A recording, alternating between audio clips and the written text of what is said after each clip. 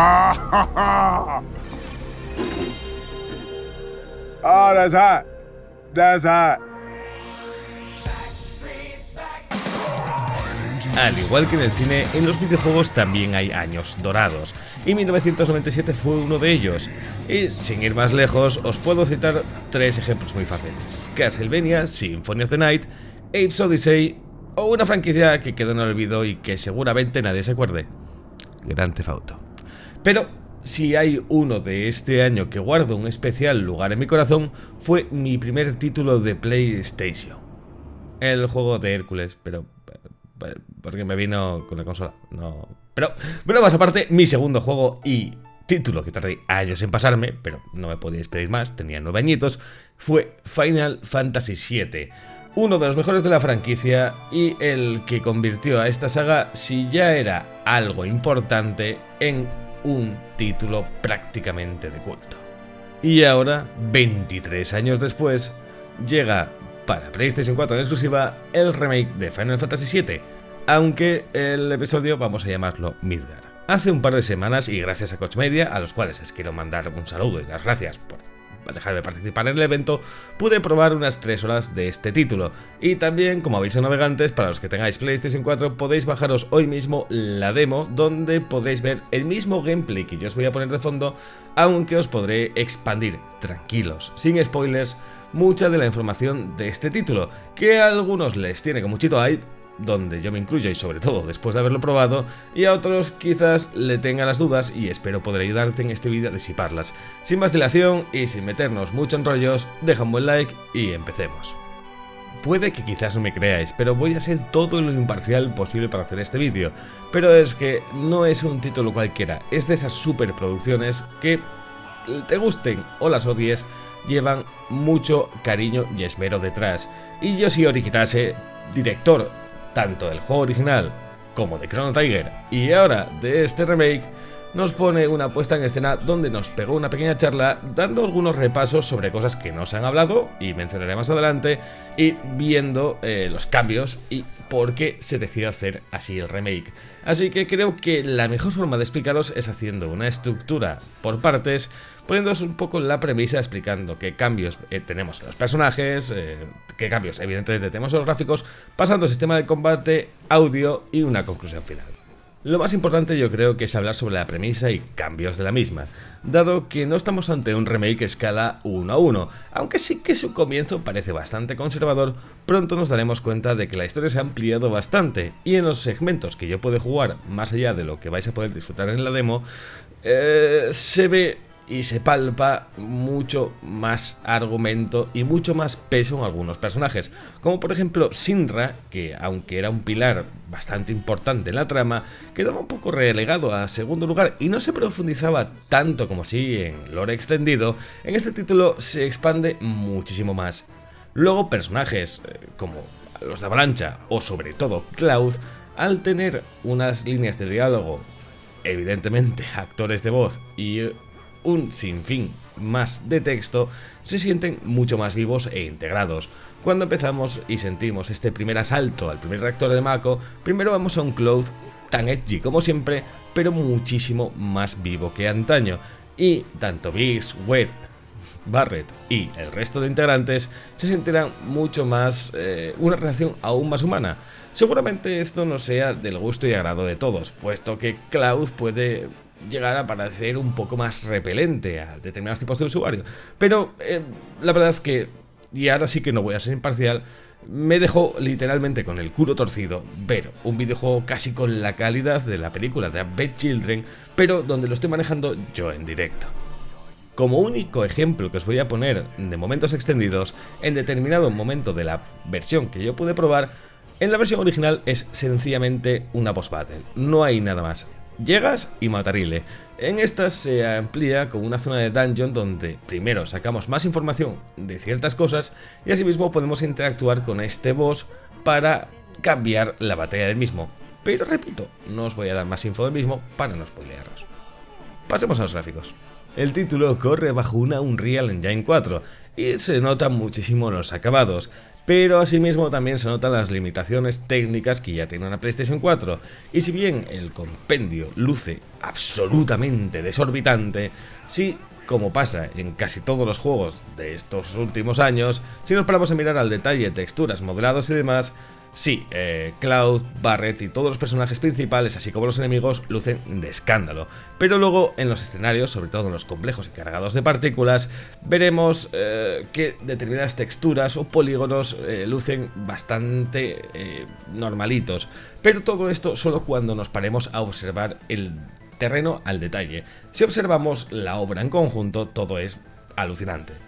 ¿Y a qué me quiero referir con esto? Que si paramos en medio de una zona destruida y miramos una piedra, esa piedra seguramente se note un poco tosca. Pero cuando miramos toda la escena, es decir, todo lo que estamos viendo, nuestros 16 novenos, pues la cosa luce absolutamente brutal. Y sí me he trabado. A lo cual, si le añadimos el despliegue de partículas para que el juego se sienta mucho más loco en combates y las animaciones que tienen nuestros personajes, se siente mucho más vivo que nunca y que, sin ir más lejos, como he citado antes, es prácticamente como jugar a Bell Children, pero con el argumento de Final Fantasy VII. Sobre los gráficos, lo único que quiero añadir, y es algo que por desgracia no pude probar, dado que la versión que probé estaba capada en inglés, Kitase nos desveló algo sobre la tecnología del motor, que aparte de que había estado modificado para el tema de partículas y demás, se había añadido una especie de, ¿cómo llamarlo?, modulador de animaciones faciales donde, según el registro del actor de voz, el moñoco se autocomillas animará para reflejar los sentimientos. Evidentemente lo que pude jugar eran momentos muy iniciales y no había esos momentos tan locos y de énfasis o tan, ¿cómo decirlo?, importantes para la trama eh, como para ver eh, exactamente cómo cambiaban las voces. Y por desgracia, como no pude alternar entre, español, eh, perdón, entre inglés y japonés, pues tampoco pude ver la diferencia. Pero en teoría, si viésemos un let's play en japonés y otro en inglés, las expresiones de los personajes cambiarán en función de la gracia que le echen los actores de doblaje. Cosa interesante, la verdad, sencillamente me suscitó mucho interés. Y ahora en el combate es donde quiero hacer mucho hincapié, mucha referencia y tranquilos. La verdad que se siente, o al menos bajo mi gusto, y cuando lo empecé a entender realmente, muy denso. Primero, ya de mano tenemos dos modos. El que sería el modo normal, que lo podemos jugar de dos maneras, ahora lo extenderé, y el modo clásico, donde se asemejará un poquito a la experiencia original de Final Fantasy VII, y el cual no os puedo dar mucha información porque no lo pude probar. Sé que estaba para poner, pero estaba demasiado absorto intentando sacar todos los detalles para hacer este vídeo que se me olvidó algo tan básico como lo mismo. de todas formas, el sistema de combate se siente como una evolución de Final Fantasy XV, diréis, uh, mal. Pues no, porque este sistema de combate de Final Fantasy XV, o de Kingdom Hearts, como preferáis, se da besitos, se acaricia y tiene una bonita relación marital con el sistema de combate clásico y han tenido un bonito hijo. Primero, podemos manejar cualquier personaje solo moviendo un botón. Esto parece opcional, pero no lo es, puesto que la IA se nota que agrega bastante al personaje que nosotros estamos usando. Y asimismo tenemos que ir alternando entre nuestros personajes de la party para poder ejecutar las habilidades y para hacer un uso inteligente de las mismas. De hecho, en algunos combates, sencillamente de los aleatorios, el usar inteligentemente nuestros compañeros era absolutamente esencial. Y diréis, ¿por qué? Pues sin ir más lejos. En una vamos a poner que había monigote A y torreta B. Eh, la verdad que al principio pecaba de abusar de usar a Cloud porque pensé que dejándolo a los moñocos en automático la cosa se resolvería mejor. Pero lejos de lo inteligente, terminaban los combates con mi personaje muy desgastado. Y ya esto, cuando lo aplicamos a las boss battles, la cosa aumenta aún más. Hasta el punto de que me di cuenta que lo inteligente era intentar ejecutar un par de ataques especiales para el muñeco A con Cloud, dado que era cuerpo a cuerpo versus cuerpo a cuerpo, mientras que cambiando a Barret, usando los ataques cargados, debilitar la torreta para que el combate fuera mucho más rápido y evidentemente tener menor desgaste para poder seguir el nivel. Y si bien no quieres usar el menú, perdiendo un poco de tiempo en las opciones puedes hacer una serie de atajos para eh, hacer el combate fluido y que con L1 y cualquiera de los botones cuadrado, triángulo, círculo y X poder ejecutar magias, curas o ataques especiales contra los rivales. Asimismo se añade lo que sería la habilidad única, que no, ojo, no es el límite, a cualquiera de nuestros muñequitos, donde por ejemplo con Cloud tenemos el modo ofensivo, que nos volveremos mucho más lentos en movimiento, pero haremos mucho más daño, y perderemos la defensa en pos a un parry. O con Barret podemos tirar un disparo cargado que hará un montón de daño, pero que requiere una recarga, y que tendremos que spamear el triángulo para forzar el enfriamiento o dejar que el tiempo vaya pasando. Evidentemente pude probar más, pero repito, no quiero hacer spoilers. Así que, bien, el sistema de combate se siente divertido, se siente inteligente y se siente de que, salvo que nos adaptemos a él, variemos y lo intentemos entender, la experiencia no se va a hacer frustrante. Pero cuando lo dominemos y empecemos a usar bien tanto el menú de acciones como los cambios de personaje, como en los controles, esquive, ataque, defensa y demás, la cosa se puede volver una delicia y cuando encima le añades sus atajos puedes llegar a hacer un combate al más puro estilo de la competencia, de May y que se sienta todo mucho más vivo y enérgico. Y si todo esto te da igual, te pones en medio el modo clásico y lo disfrutas.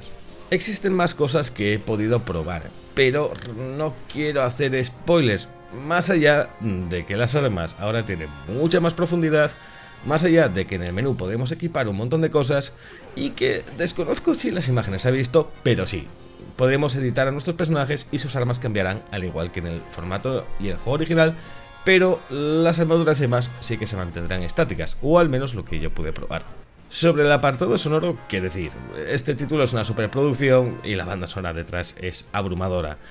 En cuanto al doblaje, casi todos los personajes me sonaron muy bien, salvo uno que no voy a mencionar. Repito, quiero evitar spoilers.